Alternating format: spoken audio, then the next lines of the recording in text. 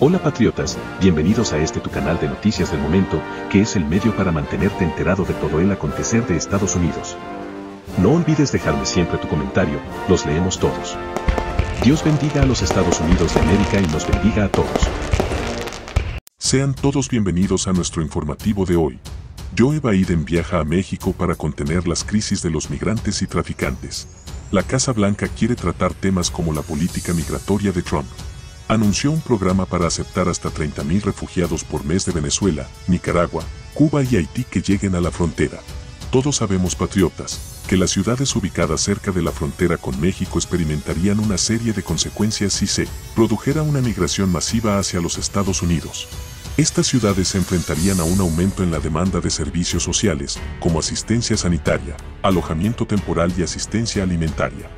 Esto aumentaría el presupuesto de los gobiernos locales, lo que a su vez significaría un aumento de los impuestos para los contribuyentes locales.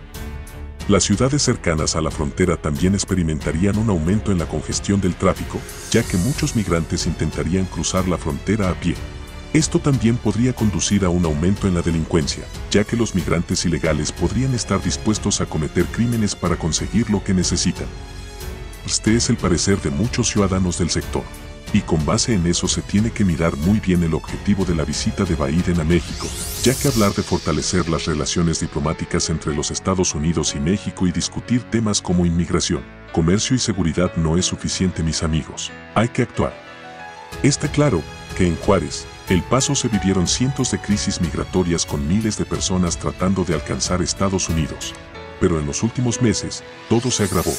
Las restricciones de la era Trump las persecuciones políticas en Centroamérica, la permanente crisis venezolana y dos años de inútiles peleas entre demócratas y republicanos en Washington dejaron a decenas de miles de personas tiradas en las calles con hambre y frío.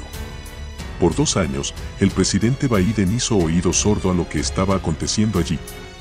Con el fin del año, estalló nuevamente la crisis humanitaria con miles que llegaron a la frontera a la espera de que la justicia estadounidense levantara las restricciones impuestas.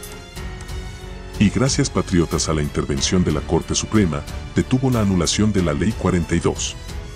Dicho en otras palabras, Biden va a enfrentar al toro desbocado, con un viaje a la frontera este fin de semana y otro a la Ciudad de México, para tratar este tema y la otra gran crisis, la de los químicos que están acabando con la vida de los estadounidenses.